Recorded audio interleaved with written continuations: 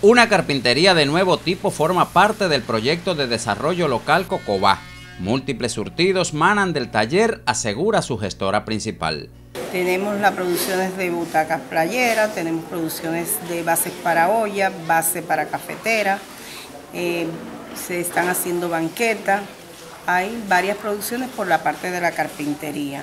Desde la sapiencia de estos dos hombres pueden salir aquellas producciones y otras según estas declaraciones. Aquí lo mismo se pueden hacer puertas, se pueden hacer persianas, hueprín, gallito, de todo tipo de producción que tiene amplia demanda.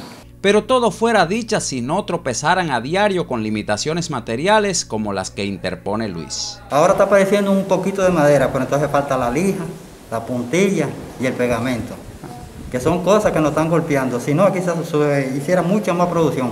La solución a esta grave problemática tributa a sostener un proyecto de amplia gama de productos y demandas insatisfechas. En lo adelante debiera ser prioridad trabajar de manera integrada para que Cocobá ayude más a la economía de Baracoa. Miguel Ángel Sánchez y José Ignacio Rodríguez, Sistema Informativo de la Televisión Cubana.